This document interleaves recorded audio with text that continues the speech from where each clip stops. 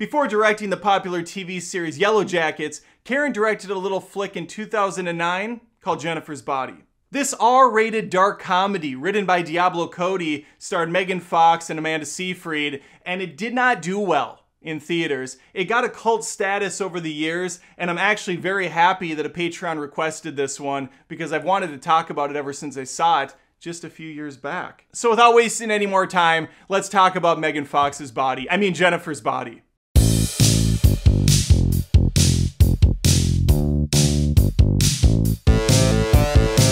It's been said before, but I'm gonna say it again. The marketing for this film was atrocious. I didn't see it in theaters because it was really focused on the fact that Megan Fox is hot. Now, to be fair, that is a good marketing sales pitch. Sex does sell. However, it was a sexy Megan Fox in a horror film. So you're kind of having a confusion boner going on. Like, ooh, she looks good here, but oh, she's like now unhinging in her jaw and taking someone's life. That's not hot. At least not for most people, it's not hot. It also didn't help that Megan Fox doesn't have a track record of being a good actress because she's really not a good actress. However, most people that saw this movie changed their tune on a lot of it. In fact, Megan Fox is really good in this film, and it seems like it was tailor made for her in the one specific thing she's good at acting bitchy and looking really hot. The reason the marketing was a bit of a misdirect here is because, yes, Jennifer's body is on display, although unfortunately no nudity is involved in this R rated film. It's such a sad thing to say out loud. But sexuality is a factor here for sure, and she does look very good. She gets to change wardrobes a lot. We see her swimming naked in the lake at one point, although there's nothing really to see. Uh, again, just such a disappointment. But Amanda Seyfried is the show here. She plays a character named Needy, and we're going to be following her for the majority of the picture. Seyfried is great. She was great in Mean Girls. She's great again here playing a completely different character. She's not a dumb ditz. She's actually a very likable, friendly girl who doesn't have a lot of friends herself outside of Jennifer, who they've been friends ever since they were young. And I just realized I am getting ahead of myself because I'm excited to talk about this movie, but I have to give a shout out to Jan Rose on Patreon at patreon.com slash adamdoesmovies. She's a great supporter of the channel. She recommended I watch Jennifer's Body, and I really appreciate it. Jan is a Mithril member on Patreon. You can also be one via YouTube, and with that membership, you can request a movie. I have to watch it, give you a tip of the hat, and talk about it like I'm doing right now. Let's keep talking about this film. Fun thing about it is I used to live in Minnesota, believe it or not. I know, probably hard to tell because of my stellar accent and the way I pronounce everything. This movie takes place in Minnesota, in a fictitious town. This quaint little town is called Devil's Kettle, and within it is a crappy little dive bar that a lot of the students and even the teachers hang out at at night because there's really nothing else to do here. Jennifer convinces Needy to go out with her. They run into a cameo by Chris Pratt, which is really fun, and there's also a band there from out of town called Low Shoulder. And this is really when the movie takes a sharp turn into the dark side of things. So far, the film has really done a good job introducing these characters with really witty, clever dialogue. I expect nothing less from Diablo Cody. This is no exception. And to jump off of that for a second, the dialogue in this movie is really funny. Some really clever lines here. And I love how there's this version of teen speak that no one ever spoke. It's just for the movie. They'll call people names like Freaktard. Jennifer will be on the phone and she'll literally make an X in the air and say, I'm crossing you out because she's upset at the time. This will be a nice foreshadow to the end of the movie where they'll bring that back. And I also really like the line, sandbox love never dies, which of course refers to them being friends since they were kids and how that bond cannot be broken.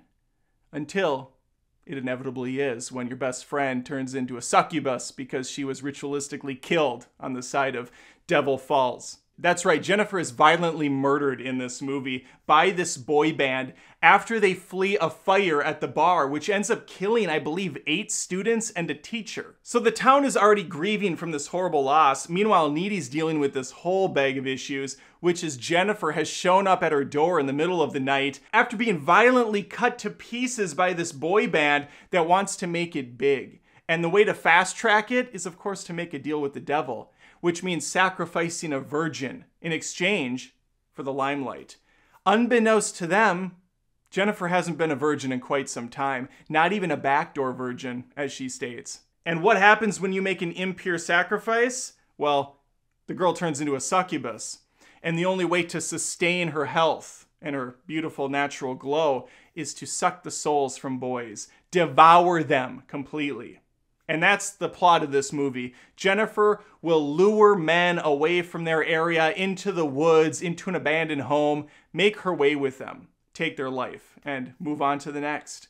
She can usually go a few days, it seems, or weeks even, before having to feed again, but the hunger always comes back. And it doesn't take long for Needy to realize things aren't on the up and up. Especially when Jennifer keeps going out of her way to hit on Needy's boyfriend, Chip who I always will refer to as young Neil from Scott Pilgrim versus the World. Speaking of actors, the other big one that shows up here and there is J.K. Simmons as one of their teachers. He's hilarious. He's always grieving. He's always feeling compassionate for these kids. So outside of great casting, terrific dialogue, and a surprisingly solid performance from Megan Fox, we also have very good visuals. The movie is lit so well. It doesn't look digital or artificial. It just looks damn good all around. Sometimes night shots come off as blue because it's not really filmed at night. They do a thing in post. Here though, the contrast, the, the shadows, everything is brilliant. I like that there's layer to this story too and these characters. You can definitely dissect it, take it as far as you want.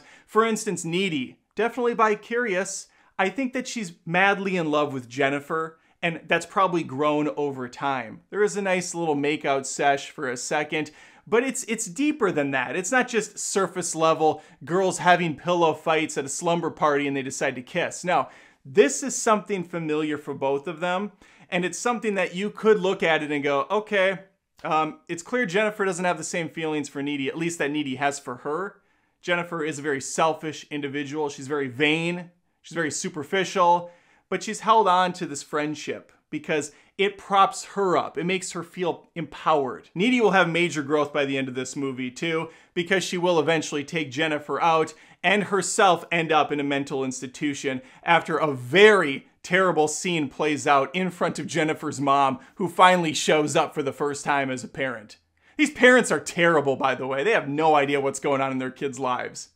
And the movie ends with a really cool sequence where she's in that mental institution, intentionally gets herself thrown in like a stockade where she can levitate off the ground and show the camera that she has ascended. When you're bitten by a succubus and you don't die, you get some of that power. And she's gonna unleash hell on that freaking boy band who did this to that small town. Which reminded me of another great movie that also did this with the end credits, which was Dawn of the Dead, the remake by Zack Snyder. Both movies give us a little extra fun closure. Well, there you go, my thoughts on Jennifer's Body, a movie I avoided for many, many years, eventually watched it probably seven years back, and then again I got to relive it, and I liked it even more the second time here. So thanks again, Jan, for the request, and to all Patreon and YouTube Join members. You help keep this channel going and these reviews flowing. Let me know your thoughts thoughts on Jennifer's body if you've seen it, if you love it like me.